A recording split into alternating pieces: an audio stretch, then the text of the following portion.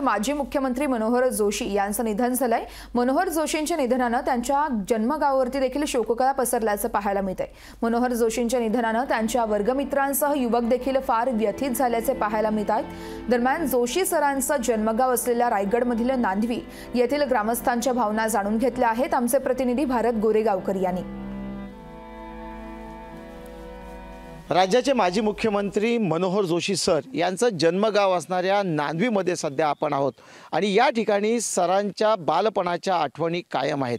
काही नांदवीतले ग्रामस्थ आता आपल्यासोबत आहेत. त्यांच्यासोबत आपण सरांच्या बाबतीत त्यांची जी मतं आहेत त्यांनी काही काळ हा सरांच्या सहवासात घालवलेले त्यांचे वर्गमित्र महादेव देवधर आता लोकशाहीसोबत आहेत.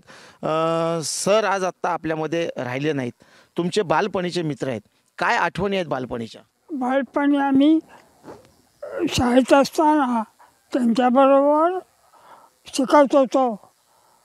आणि आता आम्ही म्हणजे त्यांच्या आठवणीने मला मला फार दुःख झाले.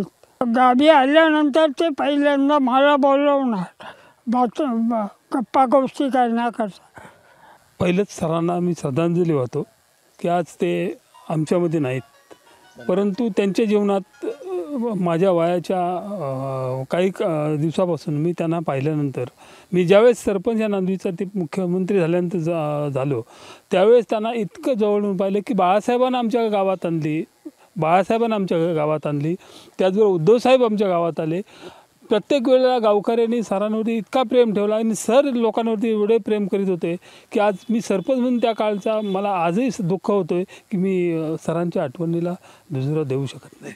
मुख्यमंत्री हा या नांदविनी जवळ पाहिला आणि त्यांनी कधीही आपल्या पदाचा की बाबा मी ह्या पदावर असताना माझ्या गावल्याला मी कसा बोलू? परंतु त्यांनी गावाशी ती जवळीक ठेवली आज त्यांच्या जाण्याने आमची नांदवीकरांची तर पोकळी निर्माण झालेली आहे परंतु आज संपूर्ण शिवसेना शिवसेनेची पोकळी निर्माण झालेली अशा माननीय सरांना आमच्या नांदवी ग्रामस्थानवासियांकडून भावपूर्ण श्रद्धांजली. कॅमेरामन ओम गोरेगावकरसह भारत गोरेगावकर लोकशाही मराठी रायगड.